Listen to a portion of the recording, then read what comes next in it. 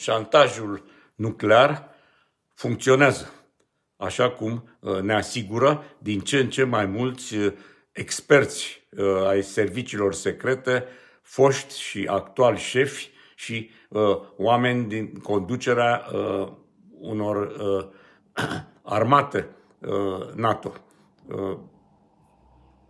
Rusia suntem asigurați, Federația Rusă va reacționa dacă se trece uh, cumva uh, linia roșie. Deși statele NATO combinate, forța armată combinată a statelor NATO este copleșitoare în raport cu Federația Rusă, uh, statele NATO nu pot utiliza această forță într-un război purtat în Ucraina, pentru că dacă s-ar întâmpla așa ceva, într-adevăr, Vladimir Putin ar apăsa pe uh, butonul nuclear și pericolul este foarte mare uh, ca în felul acesta civilizația pe care o cunoaștem să uh, dispară. Deci șantajul uh, de la Kremlin uh, merge înainte.